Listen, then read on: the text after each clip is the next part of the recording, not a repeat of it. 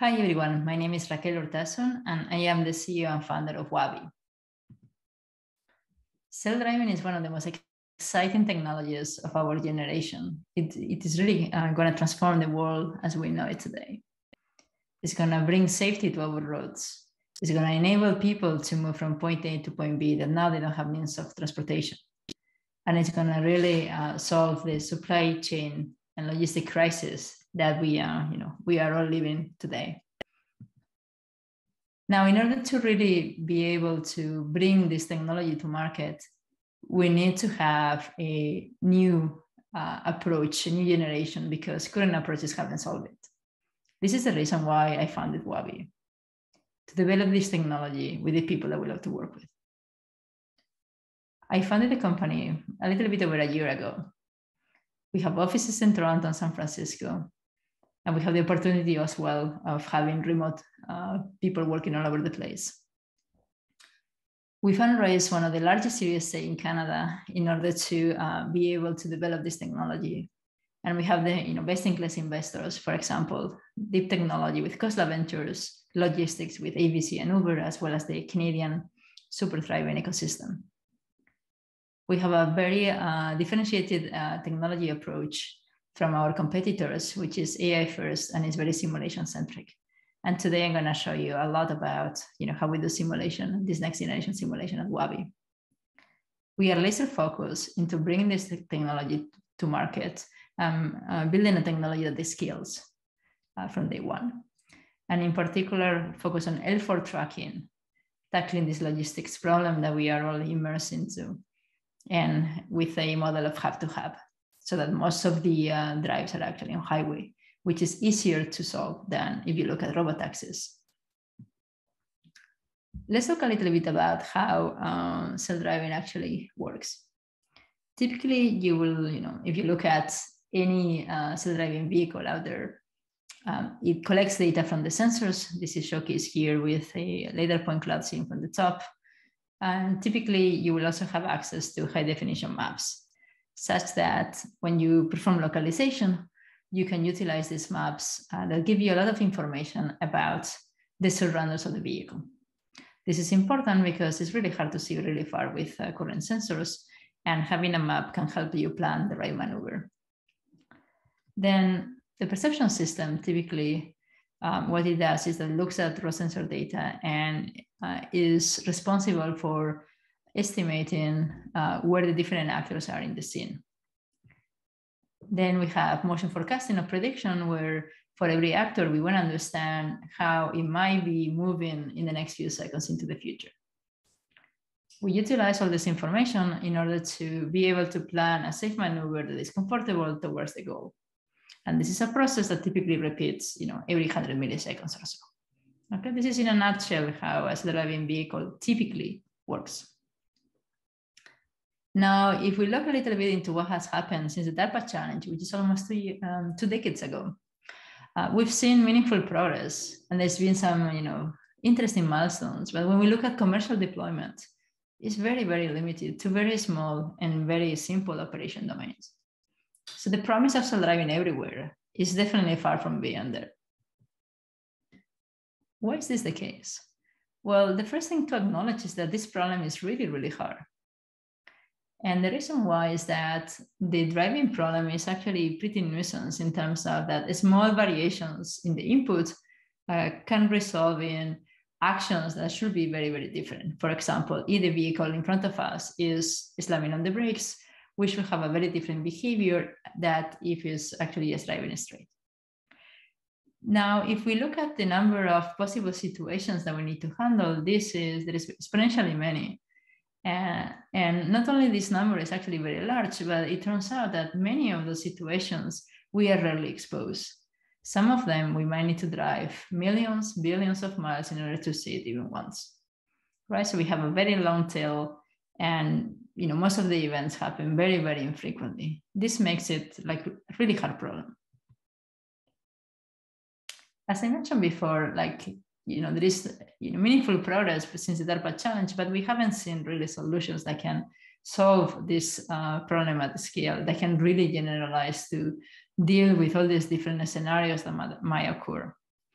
And in my opinion, the main reason for this uh, lies on the technology that uh, the industry is utilizing today, which is still very reminiscent to what the DARPA challenge looked like, uh, which basically it requires a lot of manual tuning, um, both in terms of the design and the processes to develop the technology uh, in terms of the software stack, but also in the way that uh, the industry is doing testing in order to understand where the possible problems are and in order to verify and potentially make the safety case uh, when the potentially the system is able to be deployed without a driver in the real world right uh, the, the main way that the industry is doing this is just by driving millions of miles of the real world so this is something that doesn't scale right and the better that your system gets the least, uh, you know, less situations you're going to be exposed, the less you know about whether you can handle some of these rare cases. Right? So we need a different approach. In terms of the brain of the self-driving vehicle, Waabi has a very differentiated, unique approach that is AI first, meaning that we're going to be able to train the system end to end, but at the same time, it's modular and it's interpretable such that we can validate and verify the system, which is something very, very important for safety critical applications like self-driving. Also, it's important that if, uh, you know, in the event of an, you know, the vehicle doing something that is uh, non-optimal, we can trace back into why the system made the, that particular decision. However, the automation, the fact that you can train end to end, uh, enables you to really have is you know a developer productivity that is so much higher than what we see in the industry where in this manually um, tuned software stacks that are overly complicated and very very brittle typically landing a change will take a quarter two quarters where for us we can make changes every single day so the speed of iteration the speed that you can you know uh, get better and better models is uh, you know game changer in terms of uh, having the ability to end-to-end uh, train the stack. The other advantage is that you are actually directly optimizing for the system level metrics, which is what you care about, which is the task of driving safely, not about you know how your perception system might actually see all the different actors perfectly, which is not oftentimes not uh, correlated with um, how well you drive in the real world. This approach is also very, very scalable uh, and is capable of very complex reasoning. And in particular, we use a combination of deep learning, uh, probabilistic inference, and complex optimization uh, in order of, you know, this is the combination of the different models that we see uh, in our software stack. And the entire set can actually be trained together, which is very, very exciting, both using a combination of uh, real world data as well as in simulation in either of the two or in a combination of the two. And this results in an approach that is much more affordable um, than what we see out there in the industry, where typically, you know, different companies have invested already billions of dollars uh, and they are still very far from the promise of self-driving. So it's very, very exciting what we are doing in terms of the, um, the brain of the self-driving vehicle. But today I'm going to be talking to you about our simulation, which is the other very exciting key differentiator that is, you know, a game changer in terms of uh, where the industry is today. And this simulator is very important that we can use it for both testing uh, the entire system, as well as in order to train uh, the entire system as well in simulation. All right, so let's go over uh, in more details about how simulation works in the industry and then I will contrast into how we do simulation at Waabi. Um, today in the industry, like most players utilize not one simulator, but they utilize a set of simulators in order, you know, to have like different tools to try to understand potentially where, uh, you know, where the system is not performant. And in particular, um, you know, I will go over these three types, uh, uh, the, the, three types of simulators that are more uh, more uh, readily employed. Um, the first type is what is called log replay, which I would argue that it's not really simulation, but typically it's called a simulation in the industry. So this is why it's here. And in this log replay, so basically you have collected data uh, in the real world, whether it's driving manually or driving in autonomy, And then what you're going to do is you're going to replay that data and then see uh, how your new system uh, that you are under test is going to perform in terms of perception, prediction, motion planning. Now, the good thing about this is that um, you have uh, access to raw sensor data that were recorded before. Therefore, it's very realistic. However, this system is not reactive, meaning that you are not really testing the consequences of your actions. Um, and, and therefore, there is like very little information beyond perception that you can, or prediction that you can really get uh, with this type of simulation, right? You're just replaying, you're just watching a, watching a video, right? So there is no understanding of how, for example, a chain of small mistakes can be catastrophic in your system. So this gives you, you know, some information about, you know, some potential issues or regressions, but it's not really a tool that will replace driving in the real world. The second type of simulation that is also very employed in the industry is virtual simulation, where the input to the simulator is typically a scenario that is an abstraction of uh, a potential situation. And this uh, typically will be bounding boxes representing the different actors um, as well as their potential behaviors. And typically you will have a structured testing of you know, a set of scenarios that are testing certain capabilities of the motion platform. Right? Um, the good thing about this is that it's reactive, meaning that the actor is potentially going to react to you.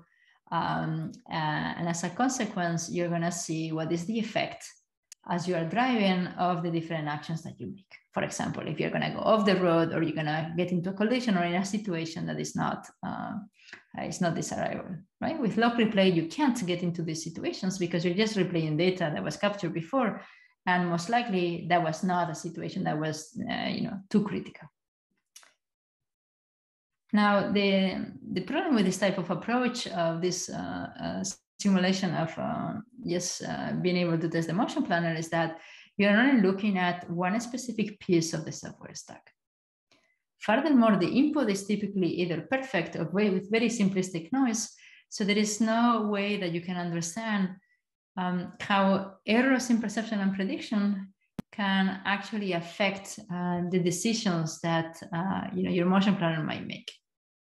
So as a consequence, this is used as a tool uh, but again, it cannot uh, be a substitute for just driving these millions of miles of the real world.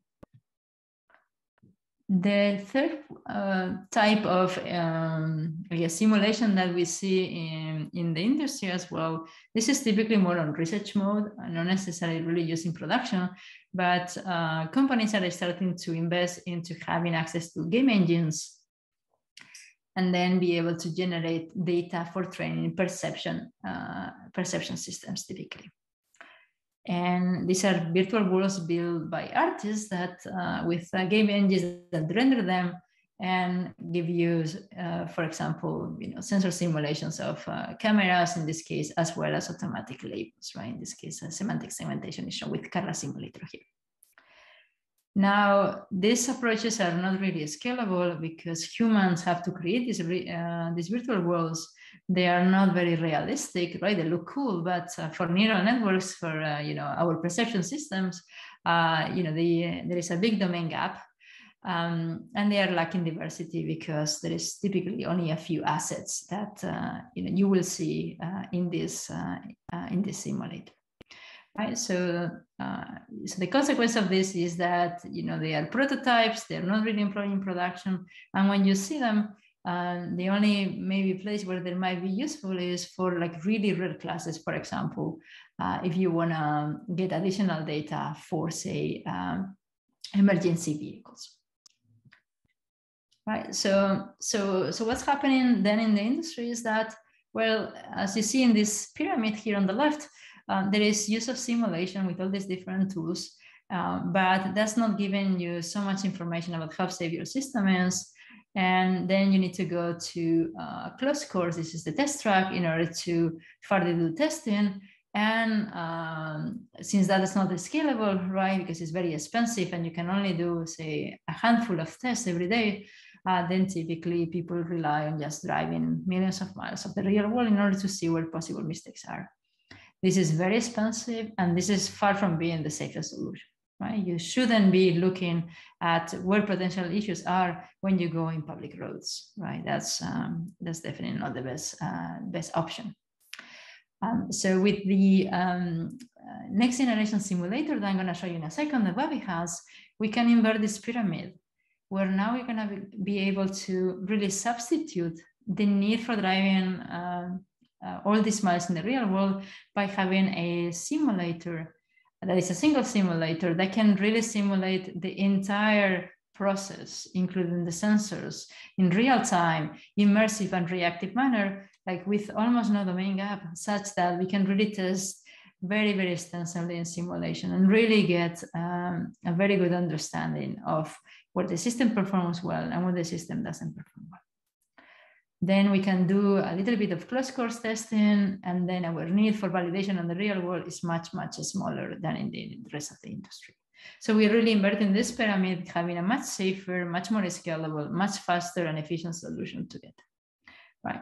Because if you wanna rely on just driving, you know, miles in the real world, you're gonna need to drive so much in order to see a lot of those events, right?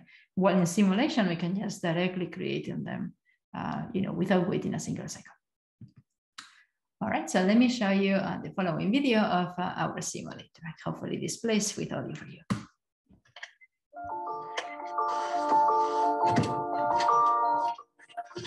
Ever think about what it really takes to drive? Probably not. We learn it and we just do it. We'll stop. Think about it Driving is hard. We process things quickly, react instantly.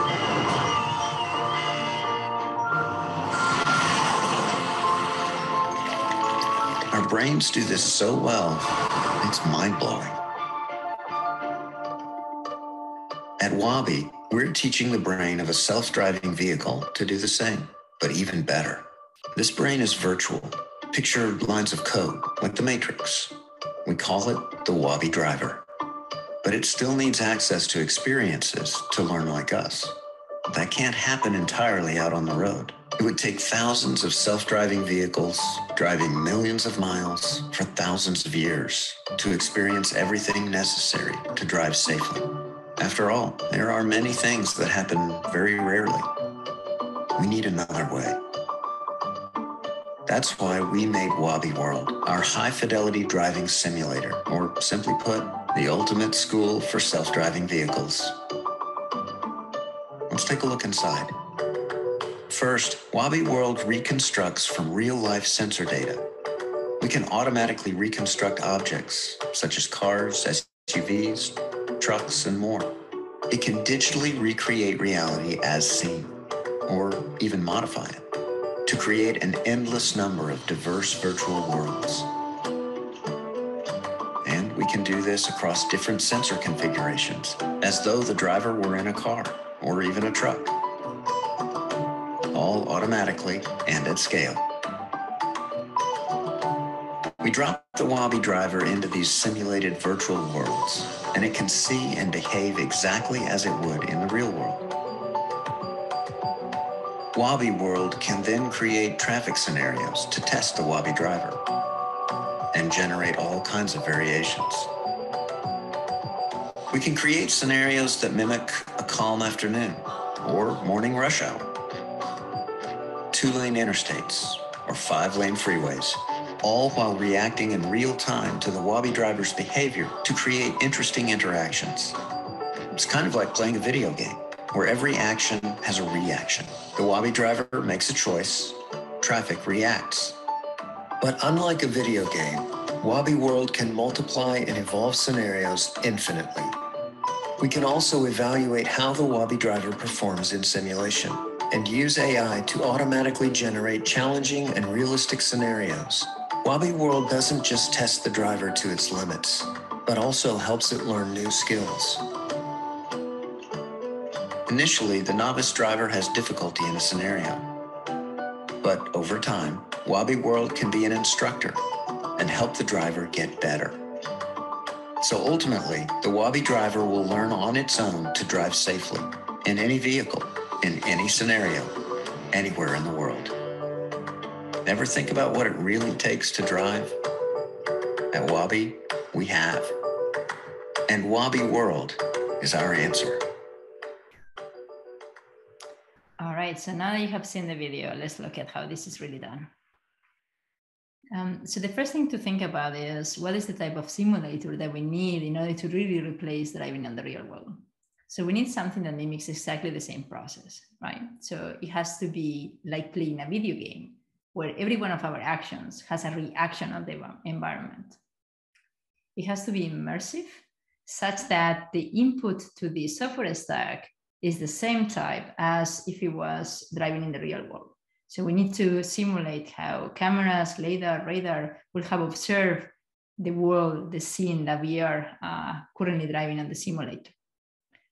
As I mentioned before, it has to be reactive, right? So that we understand how our actions impact the potential behaviors and actions that we will do in the future. It has to be at scale and it has to have all the diversity of uh, real world driving in terms of the scenarios, in terms of the appearance, instead of weather conditions, etc., etc., etc. And the other thing that we need to have is also a way to automatically evaluate how well we do in the simulation, right? Because we want to we want to be able to run millions, billions of these simulations, right? And the simulator has to be very efficient, such that you know it can mimic the real time or near real time behavior of if we were driving in the real world. Okay, so these are all the characteristics that we have with Waabi World. All right, where we have Waabi driver, which is in this case the software stack that we are testing. Right, we have a representation of the world state. Given this, we can simulate with the sensors that is given as input, right? As the vehicle that is observing the scene is going to decide on a maneuver, then we're going to uh, move that vehicle also according to some physics and things because what we intend to execute is not exactly what happens you know when you drive in the real world right? Then we the different actors are going to react to our actions and we're going to re-update the world state right? And we continue to do this closed loop simulation. And then we can utilize the updated world state in order to understand how well our actions were as we're actually executing them. That's the evaluator that automatically give us metrics of how well the system behaves. Waabi World is built on four key capabilities or components that are necessary to have all of these components together in order to really build this next generation simulation. On the center here, you have the ability to reconstruct every single environment, including the dynamic objects as you're driving from raw sensor data. This is the way that you can get scale uh, in terms of in, incorporating, you know, as many virtual worlds as the world that you know, the world in front of you. We have the ability to perform sensor simulation, right? With uh, in this case, uh, as well as cameras. Uh, the ability to perform uh, to create scenarios, right? So that it can test, you know, the entire software stack, and the ability to learn in simulation. Okay, let me give you a little bit of flavor of all these different capabilities. Um, in order to build the, uh, the virtual world, the industry is looking into using artists uh, that by hand create uh, the different assets. And then there is a little bit of procedural modeling, which is a very simplistic uh, automation technique in order to replicate the world to create larger worlds. So there is no way that you can get diversity and the level of realism that you need with such an approach. Right? And you know, artists are very expensive, humans are expensive, right? So we need something different. Our approach is to utilize raw sensor data captured by any platform that is driving using LiDAR, uh, LiDAR and camera. And then from that automatically reconstruct, thanks to our, uh, our AI algorithms, reconstruct the environment, including every single dynamic object. And we can do this at a scale for any, uh, any situation that we encounter as we drive around the world, right? So this gives you the diversity, the realism um, the ability to really capture the entire world. So this can be used in order to create catalog of possible dynamic objects, static objects, as well as environments. And then we're gonna create new worlds, new situations, utilizing this catalog as the basis. In terms of our uh, sensor simulation, it's important that it has to work in basically real time or near real time, and it has to be like super high fidelity if we look at what the industry is doing, typically they employ physics-based simulation that are very uh, typically very slow or not uh, you know, sufficiently high fidelity. Um, and they, they also um, uh, put a lot of uh, you know difficult requirements in terms of how much you need to know about every asset or the environment in order to be able to simulate any of the phenomena. For example, you want to simulate rain, some of the simulators require you to actually model every single drop of rain, right? That's something that is very, very hard to scale. In Waabi World, we have a very different approach, which is we use a combination of AI and physics in order to develop a new generation of algorithms, where the idea is that the um, physics uh, show or provide with a representation that is you know almost there but not like enough realism. And then ai as the last bit will basically converts that rough physics into something that is super super realistic and has much less requirements in terms of what you need to know the real world right? So this is much more scalable. So let me show you um, in this video here our lidar simulation on the left camera simulation on the right and what we're going to do is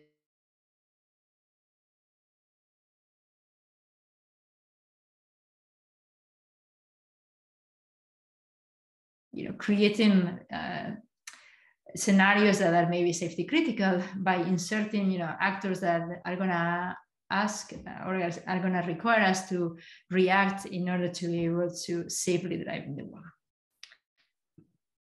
But obviously, we need to do more than just uh, insert actors, right? Uh, we need to be able to just regenerate, uh, you know, different uh, camera uh, or lidar uh, locations and different uh, you know, self-driving vehicle trajectories because we want to do this in closed loop. So let me show you uh, how we can do this. So I'm going to show you first a single log that we use as input for our virtual world creation. Um, and this log is just, you know, generally camera and lidar, you know, captured by just driving around. So you see us here driving around a street in San Francisco, right? Um, and what we're going to do with this is we're going to automatically remove every single dynamic object. And we're going to create a 3D virtual world uh, from the rest of the scene. And then we're going to resimulate yeah, how the vehicle, uh, while performing different trajectories, would have observed this scene if you were to drive differently.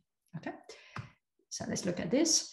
Um, so this is now our camera simulation, right? That is uh, has removed all the different moving actors. And now we can go and then do different um, configurations. For example, what if we were driving in a different lane, as you see, left to right motion, right? What if we were driving uh, slower? What if we were driving with a different frame rate or a different camera um, characteristic than the original one, right?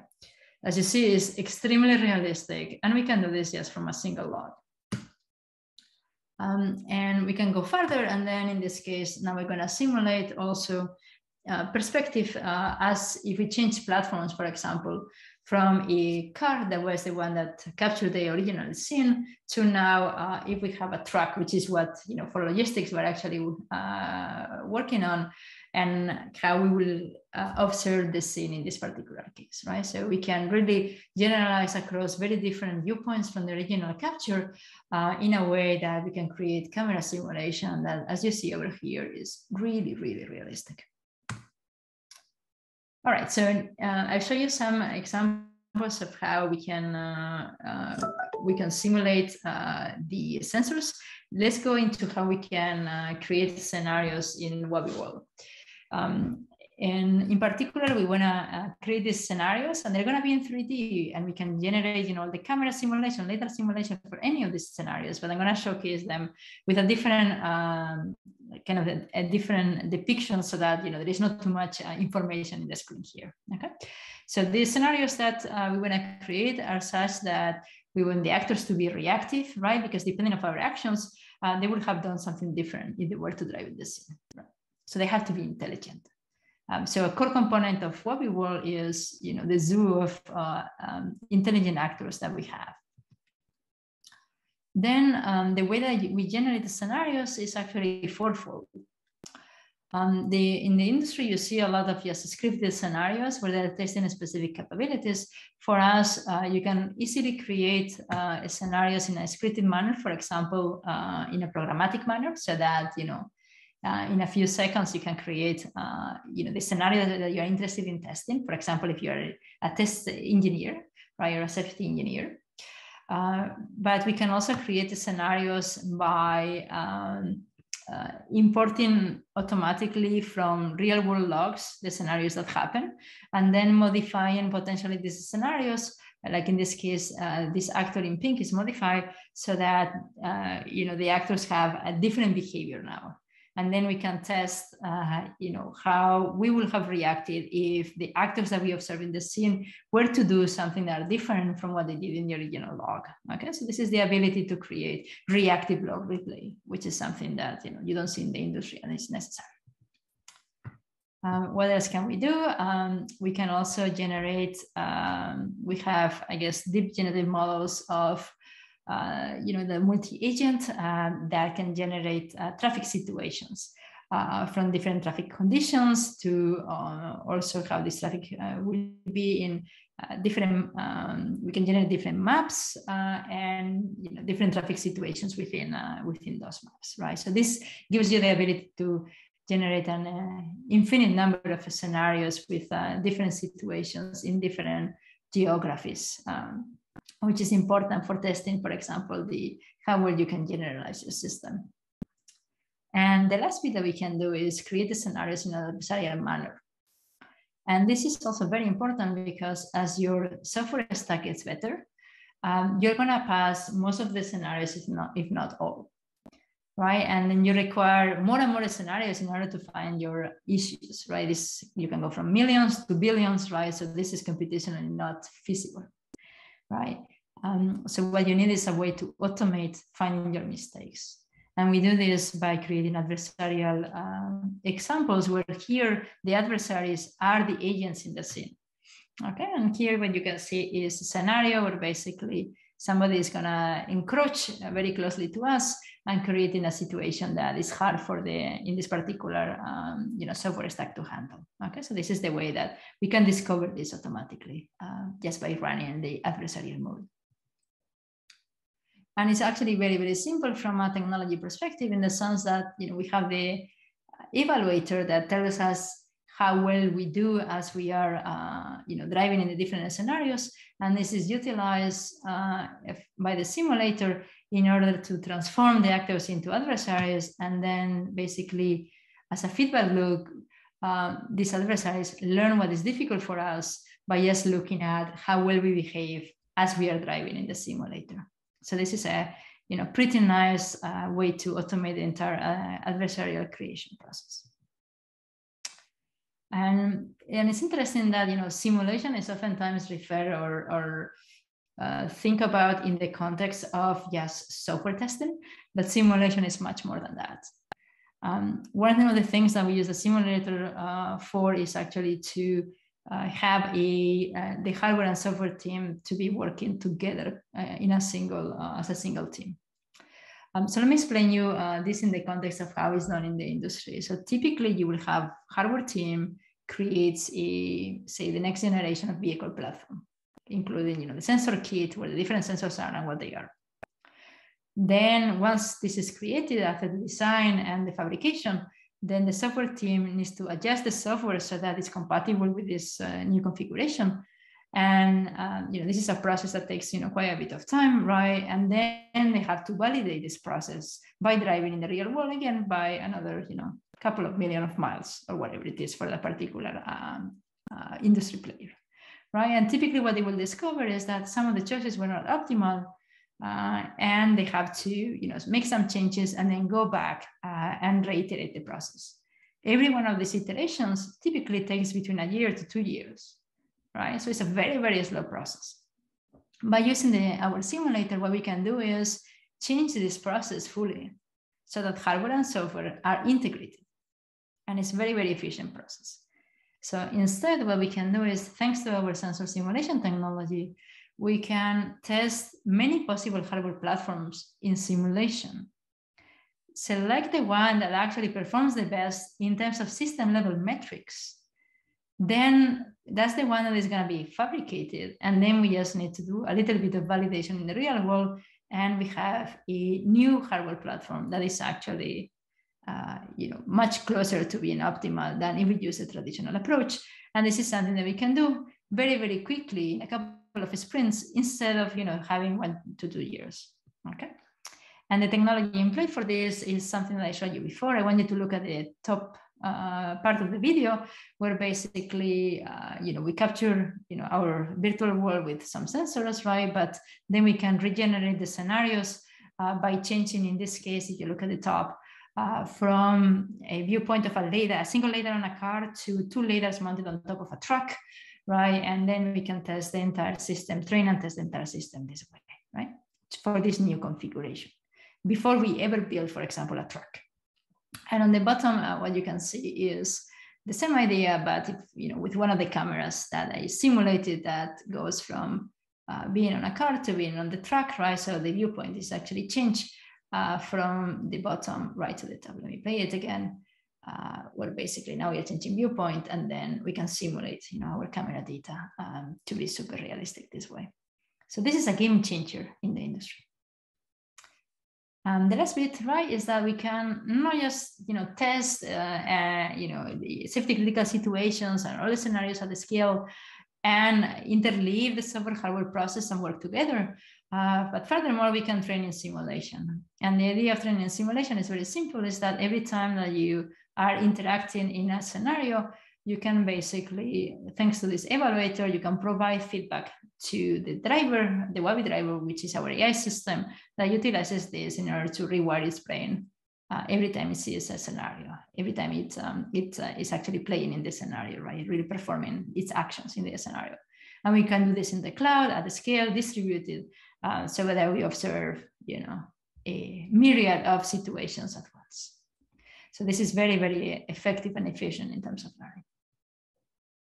All right, and what you can see here in the video is at the beginning, you know, it's a very naive uh, planner, so you know it can get into collisions. And uh, as it's experiencing the scenarios, it's learning better and better policies. In this case, uh, you know, it's still not perfect, right? Before uh, it doesn't learn to yet to accelerate in order to be able to merge better, but after it repeats a couple of times, actually learns that complex behavior.